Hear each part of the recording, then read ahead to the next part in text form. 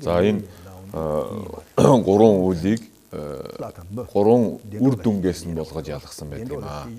Одоо угаасаа буян буян бус гэдгийг чинь ерөөсөө тэр ирээдүйд өөрт нь авчрах ирээдүйн боловсрох үр дүнгээр нь ялгсан. Түүн шиг буйны үйл гэдэг нь бол бидний ертөнцид тэр амар амгалан сайн төрлийг авах асуудал дээр нь тэнгэр хүмүүн асар гэдэг гурван одоо сайн заяанд одох. Одуулах үйлийг хэлнэ гэсэн байна. А буян бусын үйл гэдэг нь болохоор муу заяа буюу адгуус бэрд там руу төрүүлэх болдог тэр үйлийг одоо хэлнэ гэсэн. А үл хөдлөх үйл миовын ла гэдэг нь болохоор дээд ертөнц хам гомоо буюу бидний хүсэл ертөнцийн тэнгэрүүдээс ч илүү дээшээ тэр одоо дүрст дүрс үгүй гэдэг зөвхөн оюун санаа орчих тэр тэнгэрүүдийн оронд бол очих одоо үйлийг хэлнэ гэсэн байт юм аа. За тэгэхээр бид одоо энэ гурван янзын үйл гэдэг үйлдэл гурван янзын одоо төрөл заяагаар яваад байна. Одоо яг одоо бид нар бол эрдэнэт сайхан хүний биеийг олцсон байна. Энэ бол бидээж одоо буйны үйлээс одоо бүтсэн бол тодорхой юм аа. Аа тэр одоо бидний нүдэнд харагдж байгаа адгуус амьтад зовж байгаа бүхэн бол тэр буян бусын үйлээр одоо ийм төрлийг авчаад байгаа ийм үе юм аа гэж.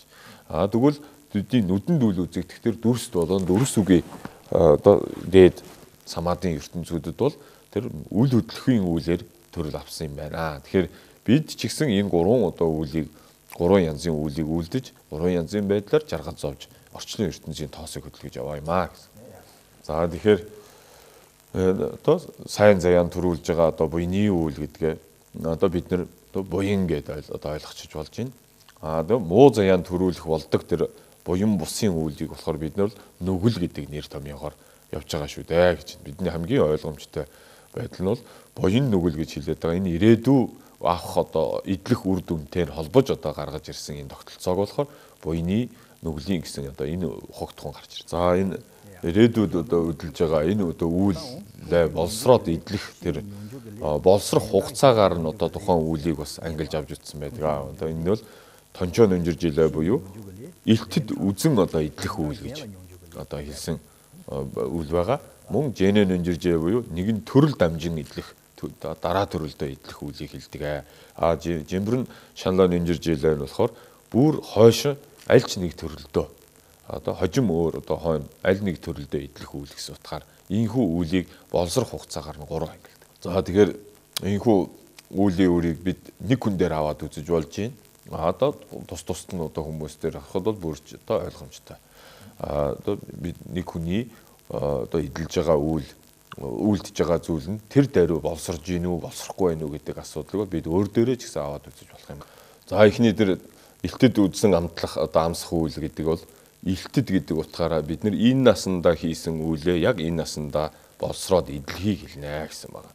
За тэгэхээр үйл гээл тэгэхээр одоо бүгд дандаа л нэг одоо муу муухай зүйлээр бас бодох хэрэггүй. Одоо үйл нь сайн үйлч байна. Сайн үйлийг ч ялгаагүй энэ гурван хэлбэрээр одоо боловсрно гэсэн байна. Жишээ нь хамгийн ойр жишээ бол бидний бага наснаасаа сурж боловсрж байгаа. Энэ одоо сурж боловсрсан энэ одоо оюун мэдлэгчин та бүхний амьдралд одоо хэрэг тусаа үзүүлж байгаа чинь энэ насандаа хийсэн үйл хэрэг энэ насандаа үр дүнгээ өгж байгааг хэлж байна. За одоо буруу бусармаг зүйл үйлдэх гэсэн бас харилцан эдлэгөө бас л энэ насандаа идэх үгүй бас одоо эргэлзээ зүйл байж л байдаг. Энэ насандаа идэх тохиолдол бол зөндөө байна тийм үү? Хулгай хийгээд юм уу худлаа хилээд одоо бусдын имийг булаа дээрэмдээд эргээд өөрөө одоо нэр хүндгүү болох өөрийнх нь ажил үйлсэн бүтээжгүй амьдрал ахуйн дороотсон одоо одоо хууль засгийн одоо орон шоронгийн хаалга татах тэргүүтэн энэ насандаа хийсэн үйлээ энэ насандаа эдэлж байгаа явдлууд бас элбэг байдаг аа. А хоёр дахь одоо үйл нь одоо үлийн боловсрал одоо хугацаагаараа бол одоо төрөөд идэх үйлээ гэж одоо хэлсэн байна. Тэгэхээр нэг одоо энэ насандаа хийснээр хойно идэх юм уу бидний урд насандаа хийсний энэ насанд идэх тухай ярьж байна. За энэ ухагтгуун гарч ирэхэд бидний хойд нас байна уу? Хойд нас урд нас байдаг хэр ихтгэлтэй байдаг вэ гэдгээс ер нь хамаарна. Гэхдээ үйл бол тэр хүний ихтгэл үнэмшлийг дагдаг үйл боловсрох цагтаа боловсрно гэсэн үг бас зөвхөн одоо хойд нас байна гэж тулгаад байдаг биш. Үнийг бас одоо олон зүйл байдлаар судалж одоо одоо учир начрын олж ийж одоо хүнд улам баттай ихтэй болсон одоо байдаг. Им дээд мэрэгдийн альцсан тэр үүлийг болохдоо саяны 3 янзаар ангилахад хамгийн сүүлчийнх тэр өөр бусад төрөлдөө идэх үйл гэдэг. Энэ зүйл нь энэ насанд дийсний хойд насанд идлээд одоо үгүй бол дараа тэрнээс хойш ямар нэгэн төрөлд идэлхийг нь гурав дахь одоо тэр бусад төрөлдөө идэх үйл гэж. За энэ одоо үүлийг үүлийн үрийн одоо одоо хөдлөшгүй одоо дөрвөн хууль гэж байдаг тухай одоо энд оруул хэлхийн зүйтэй байх. Тэгэхээр үүл магттай гэж. Дараагийнх нь үүл аривжд юм аа. Гурав дахь нь болохоор үйлдээгүүтэйгээ үл учирнаа гэсэн байна. А дөрөв дэх нь бол үйл шамшигдан одоо үйлцэн үйл шамшигдан алга болохгүй гэсэн. За уг нэр томьёог бас их товчхон одоо хүмүүст одоо хэлдэг. цаашаа задруулан ойлгоход арай тодорхой болт юм аа. Тэгэхээр эхний дээр үйл магттай гэдэг нь үйл гэдэг чинь үнэхээр байдаг. Үнэн шүү гэсэн утгаасаа илүү. Үйл тус үйл тухайн одоо үр дүнгээ үзүүлдэг нь бол магттай гэсэн утга. Жишээ нь буйны үйл бол ирээдүйд өөрт нь сайн сайхан зүйл болж ирэх нь бол магттай. Хилэнцгийн үйл бол ирээдүйд өөрт нь зовлон таагүй зүйл болж ирэх нь бол магттай юм а гэдэг утгаар нь тайлж ойлгох хэрэгтэй.